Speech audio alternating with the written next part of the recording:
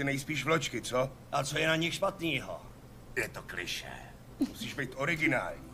Víš, kdybys byl originální, zmínil by ses aspoň o nějakých speciálních vločkách. Třeba ve tvaru ucha, chápeš? Eh, nalil bys na ně trochu mlíka a nic bys pak neslyšel.